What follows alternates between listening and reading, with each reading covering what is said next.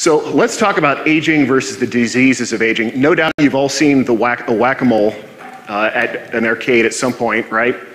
You've got this little machine. Randomly, these little moles pop up out of the machine, and then you get a hammer and you whack down the moles one at a time.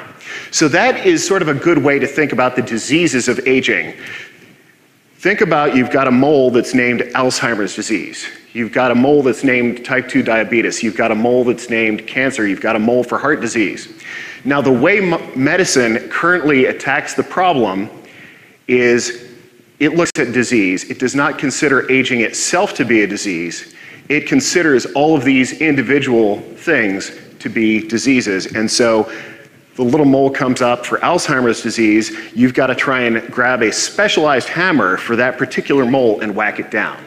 Then the mole pops up for cancer. You've got to grab a completely different mallet for that and whack it down because we have totally different medicines to deal with cancer, right? Same thing with heart, heart disease or whatever else.